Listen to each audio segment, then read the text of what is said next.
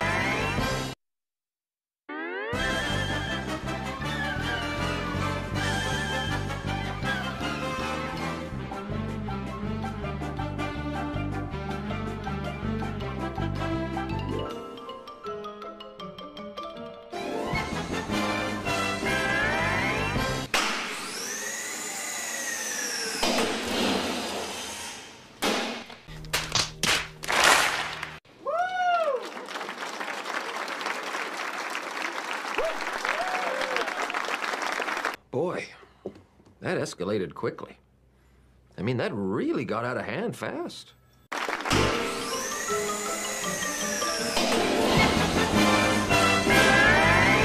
Atlantis, Houston, you are go for the RPM. Go to proceed inside 600 feet.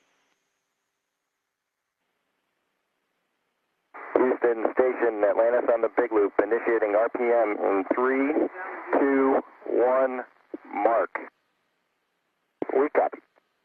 Houston copies.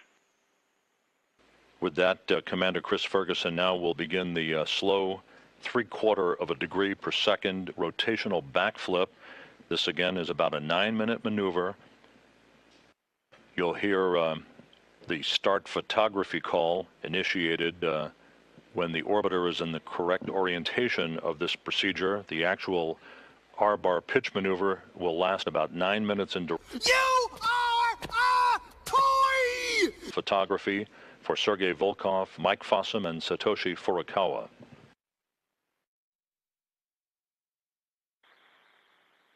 Station, Atlantis on the Big Loop.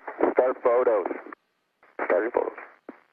And with that, uh, a period of about 93 seconds of uh, good photography now initiated for uh, Sergei Volkov, Mike Fossum, and Satoshi Furukawa using uh, digital cameras and high-powered lenses out of the Zvezda You are a child's plaything! That's all, folks.